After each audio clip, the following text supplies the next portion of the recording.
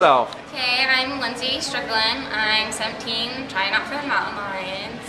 I'm still in high school, but I'm graduating. I've been dancing for four years and trying out for Mountain Lions because I want to expand my dance and do something outside of high school for once. Just have fun, meet new people.